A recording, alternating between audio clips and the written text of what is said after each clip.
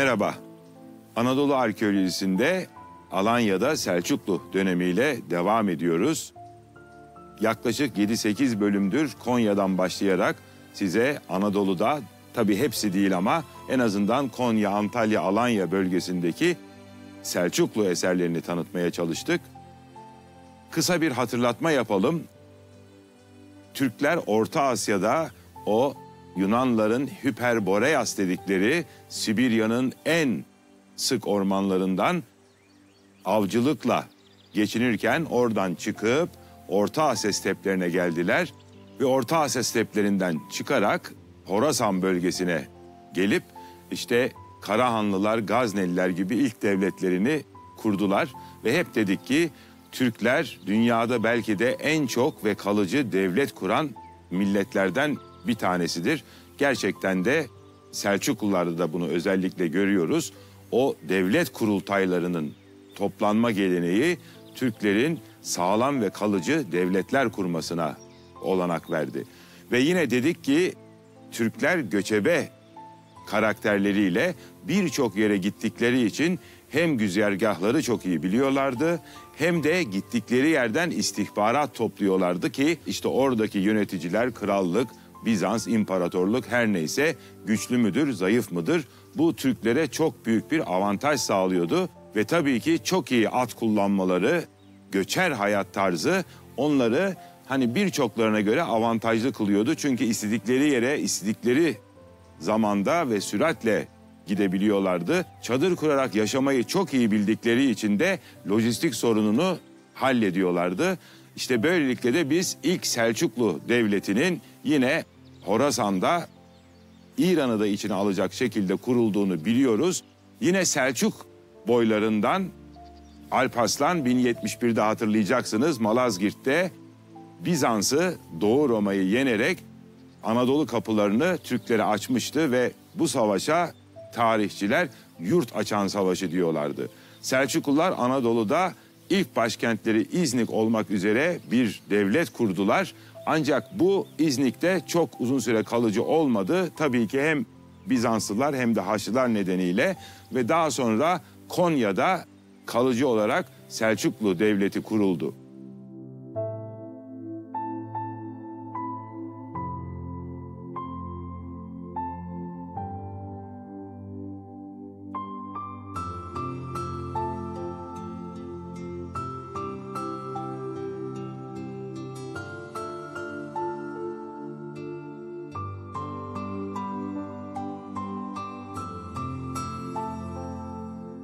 1176 yılında da Miryokefalon Savaşı'yla artık Anadolu kesin olarak bir Türk yurdu oldu. Hani Malazgirt'e yurt açan savaşı der tarihçiler demiştim. Miryokefalon'a da yurt tutan savaşı derler. Artık Anadolu bir Türk hakimiyeti altındaydı tamamen. İşte bu tarihten sonra Selçuklular Konya merkezli bir takım çalkantılı dönemler olsa da gittikçe büyüdüler ve özellikle Gıyasettin Keyhüsrev'in Antalya'yı almasından sonra artık sadece bir kara devleti değil, aynı zamanda denizlerde de deniz ticaretinde hakim bir devlet de oldu. Selçuklu devletini zirveye taşıyan Alaaddin Keykubat da Alanya'yı 1221 yılında fethedince Selçuklular artık sadece bir kara devleti değil, denizlerde de hakim bir devlet konumuna geçiyorlar. Deniz hakimiyeti ve gemi yapımı savaşla ilgili değil daha çok ticaretle ilgili. Gerçi hani ticari gemiler değil ama Akdeniz'deki ticaretin güvenliğini sağlamak üzere yapılan gemiler ki bütün başarılı imparatorluklar gibi Selçuklu İmparatorluğu da tebaasında yaşayan halkların zenginleşmesine, ticaret yapmasına olanak tanıyarak halk zenginleşince elbette ki vergi toplayıp devlette zenginleşiyor. Ve böylelikle Alanya bir Selçuklu mülkü haline geliyor. Geçen bölümde de Alanya Kalesi'ni, Alaaddin Keykubat'ın sarayını ve kale yapılarını göstermiştik. Bu bölümde de yine kalede bulunan Ehmedek bölgesini gezeceğiz. Ve burayı gezerken de kapıdan girdik ki kapıda yer yer Helenistik ve Roma dönemine ait sur kalıntılarını görüyoruz ki belli ki Bu surlar onun üstüne yapılmış. Yani o zamandan beri bir yerleşim var ve girer girmez bizi askeri barakalar karşılıyor ve biraz ileride son derece ilginç grafitiler var. Daha çok gemi grafitileri. Biz bunları 10. 11. yüzyıldan birçok yerden tanıyoruz. İşte Kıbrıs'tan, Kayaköy'den. Çünkü 10. 11. yüzyıllarda korkunç bir gemi trafiği var. Kudüs'e gitmek isteyen hacıların daha çok yaptığı ve o gemiciler de bu tür yerlere gelerek dualar ediyorlar. Burada konaklıyorlar ve sıvaların üstüne gemilerinin çizimlerini, grafitlerini yapıyorlar.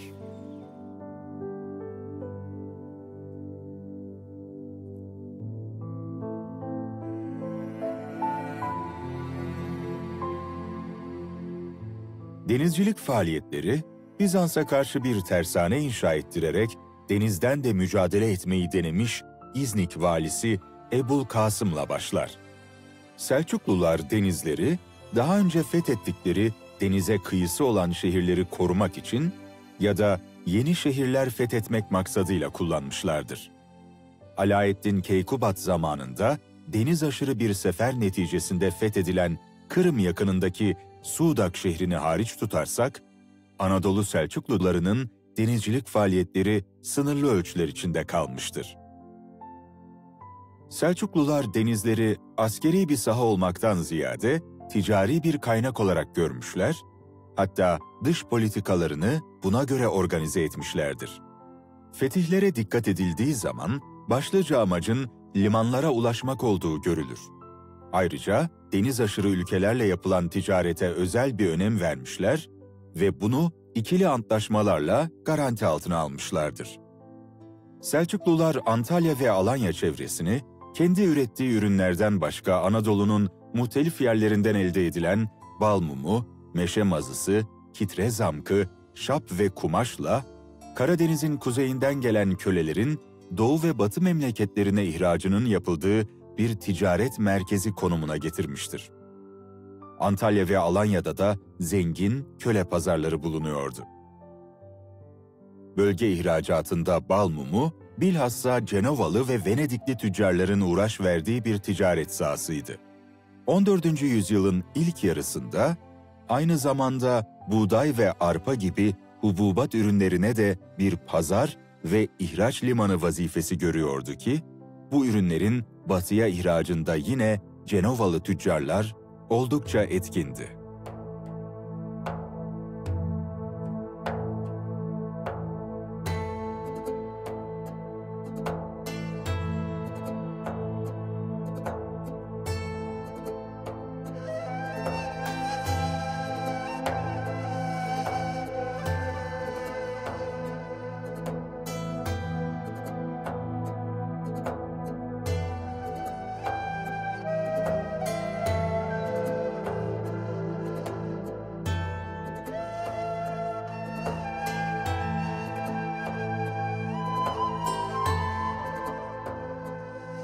Alanya Kalesi'nde bir tek cami var. O da Ehmedek bölgesinde, kalesinin yakınında. Bugün Süleymaniye Camii olarak bilinse de kitabelerinden anlaşıldığına göre Alaaddin Keykubat döneminde 13. yüzyılda yapılıyor. Ama daha sonra Kanuni Sultan Süleyman döneminde restore edildiği için Süleymaniye Camii olarak da biliniyor ve şu anda hala aktif, güzel küçük bir cami.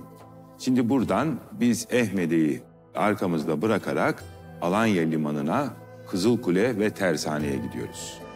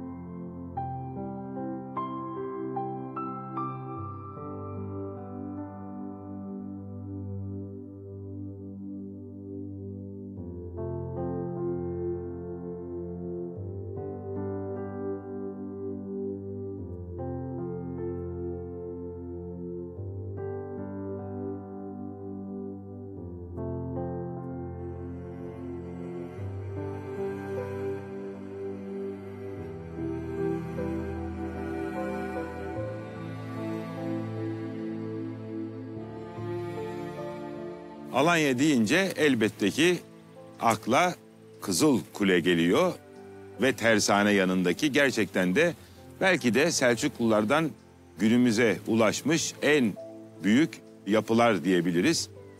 Bir de tabii son yıllarda hem Kızıl Kule'nin hem de tersanenin bakım onarım Alanya Belediyesi'nde ve yaptıkları çalışmalarla da son derece güzel bir alana çevirmişler burayı. Hani eskiden öyle çok gezmesi keyifli değildi ama bugün hem Kızılkule hem Tersane ve Tophane oldukça keyifli bir hale gelmiş. Şimdi gideceğiz hep beraber bu Alanya'nın en güzel eserlerini göreceğiz.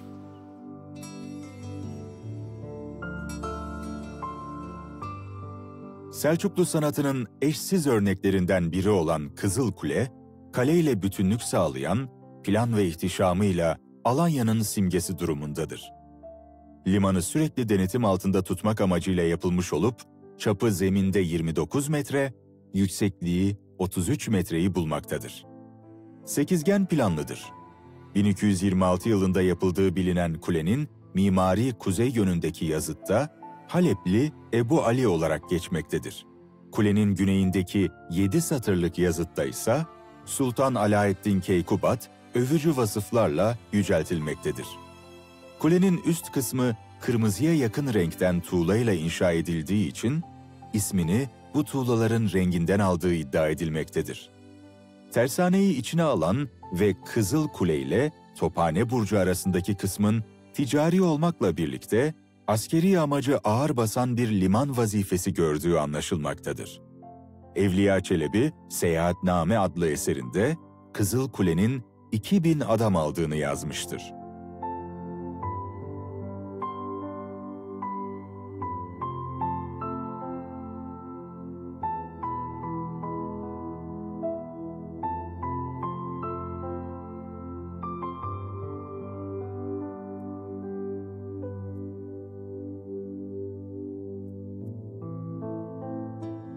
Alanya'nın simgesi Kızıl Kule dedik. Bu kadar devasa bir yapı aslında askeri amaçlı bir yapı ve bildiğimiz kadarıyla Alaaddin Keykubat Alanya'yı fethettikten sonra henüz daha kale yapılmadan Kızıl Kule yapılıyor. Alanya her zaman denizden tehlikelere maruz kalmış. Çünkü gerçekten de arkadaki Toros Dağları oldukça sarp. İşte Alanya'yı Konya'ya bağlayan ve kuş yuvası olarak bilinen yol Hani geçtiğimiz yıllarda bir tünel yapıldı. O güne kadar hala tehlikeli bir yoldu.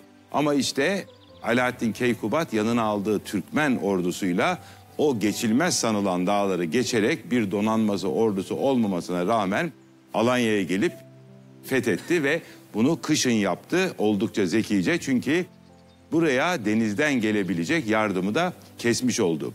Ama Alaaddin Keykubat biliyordu ki böyle bir kaleye denizden saldırı olacağı için ilk önce deniz tarafını emniyete almak için bu kuleyi inşa ettirdi. Bu kule aslında bir askeri gözetleme kulesi. Aynı zamanda da askerler var tabii içinde.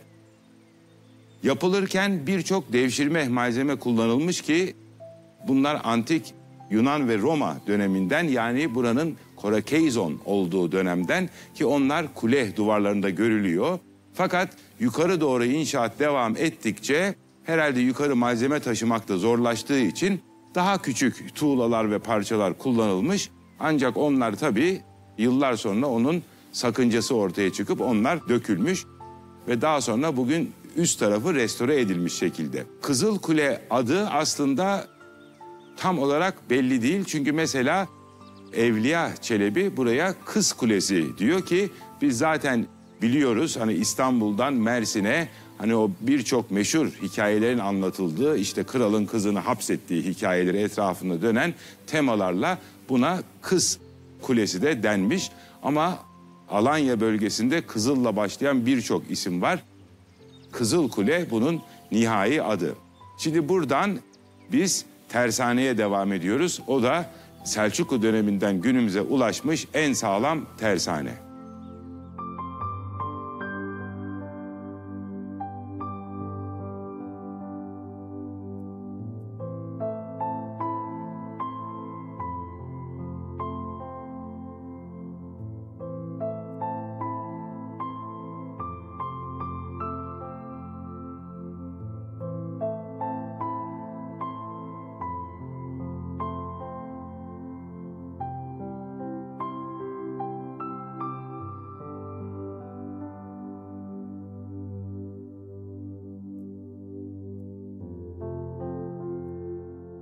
Selçuklu döneminden günümüze kalan yapı, Selçukluların Akdeniz'de inşa ettirdiği ilk tersanedir.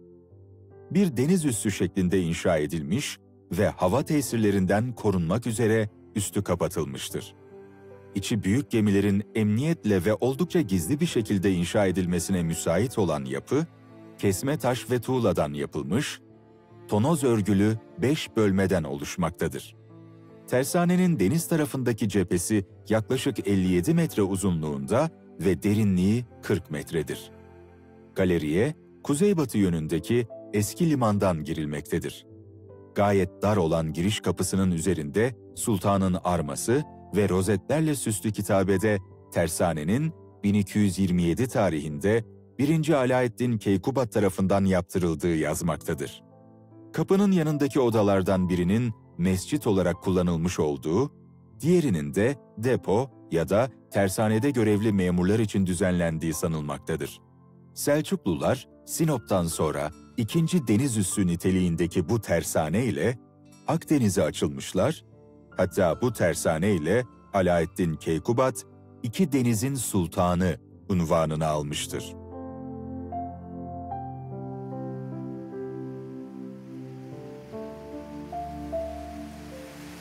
Belki de değil sadece Alanya'nın Türkiye'deki en etkileyici yerlerden bir tanesi Alanya'daki Selçuklu Tersanesi. Sadece tersane olarak değil konum olarak da oldukça etkileyici ve 800 yıllık bir tersane 13. yüzyıl başında yapıldığını biliyoruz. Selçuklular biraz önce dediğim gibi artık Antalya ve Alanya fetihlerinden sonra sadece bir kara devleti değil aynı zamanda bir deniz devleti ki mesela İzzettin Keykavus'a karaların ve denizlerin fatihi ünvanı veriliyor. Alaaddin Keykubat'a ufukların sultanı ünvanı veriliyor. Çünkü bütün ufukları onlar kontrol ediyor. Demin dediğim gibi Selçuklu gemileri aslında savaş gemileri ama savaşmak üzere değil, Akdeniz'deki ticareti korumak üzere yapılmışlar. Çünkü Alaaddin Keykubat Venediklerle yaptığı anlaşma gereği Venedik ticaret gemilerini Akdeniz'de hem korsanlardan koruyor hem de onların uğrayabilecekleri herhangi bir zarar olursa onu da tazmin etmeyi garanti altına alıyor. Yani bir sultan düşünün ki Orta Asya steplerinden gelmiş göçebe diyorlar. Ama artık 13. yüzyılda Alaaddin Keykubat işte bu Selçukluların Akdeniz'i kontrol eden, ticareti yürüten bir sultan ki bize milattan sonra 2. yüzyıldaki Roma İmparatorluğu'nun o ihtişamını hatırlatıyor.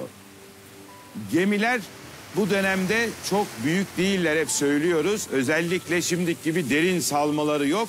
Çünkü limanların çoğu denizden girilen limanlar. O ırmaklardan limanlara ve kentlere ulaşmak için gemilerin altı genellikle düz olarak yapılıyor. Biz Selçukluların Sinop'ta bir tersanesi olduğunu biliyoruz. Bir de Alanya'da işte hem Karadeniz hem Akdeniz'de kurdukları donanmalarla etkin oluyorlar. Elbette ki Karadeniz'in ağaçları bugün bile gemi yapımında oldukça etkili. Kurucaşile hala önemli bir merkez. Alanya'nın nesi vardı diyeceksiniz. Tabii ki Toros Dağları'nın sedir ormanları ki daha önceki bölümlerde açıklamıştık. Toros sediri gerçekten gemi yapımı için mükemmel bir ağaç. Şimdi buradan Selçukluların av konusundaki meraklarını ve zevklerini öğrenmek üzere bir Selçuklu av köşküne devam ediyoruz.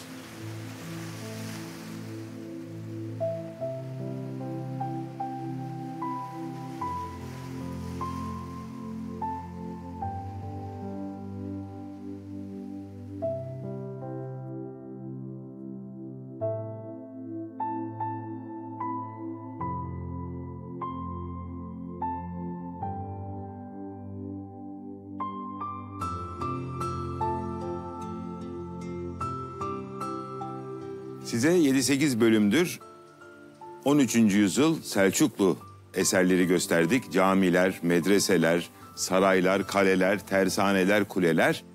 Ama Selçukluların bütün bu imar yapıları kadar büyük olmasa da ama önemli bir de av köşkleri var ki daha önce Neapolis bölümünü izlemiş olanlar oradaki Kisle Manastırı'nın yine Selçuklular döneminde bir av köşküne dönüştürüldüğünü hatırlayacaktır. Yine bir tane Antalya Kemer'de var. Bir tane de hemen Alanya'da var. Alanya Belediyesi tarafından yeni restore edildi. Çok da güzel bir av köşkü. Çin kaynakları Türklerden bahsederken en eski kaynaklarda onların avcılık ve demircilikle uğraştıklarını söyler. Aslında ilginç bir belgedir bu. Biz tabii ki Türklerin çobanlık yaptığını, avcılık yaptığını biliyoruz. Ama mesela demircilikle uğraştığını bu zanaatı bildiklerinde bu kaynaklardan öğreniyoruz. Ve avcılık Türkler için her zaman önemli olmuştur ama özellikle Selçuklu sultanları en artık büyük e, gelişmiş dönemlerinde bile bu av ve avcılık tutkusundan vazgeçmemişlerdir. Sürek avları düzenlemişlerdir ve bu avlar için özel köşkler yaptırmışlardır. Yine biz kaynaklardan biliyoruz ki leopar gibi, aslan gibi, kaplan gibi hayvanların avlandığını hep işte Anadolu arkeolojisinde soruyorlar bize. Yani işte bu kadar aslan motifi vesaire var mıydı? Biz de hep diyoruz ki evet Anadolu'da aslan kaplan vardı. Bunlar hatta 18. 19. yüzyıl seyyahlarının kitaplarında da geçiyorlar. Çok sevindirici bir haber. Daha 2021 yılının Ocak-Şubat ayında duyuldu ki Toroslar'da yeniden Anadolu leoparı görüntülendi. Yani o 800 sene önce Selçukluların sürek avlarında avladıkları leopar tekrar görüntülendi.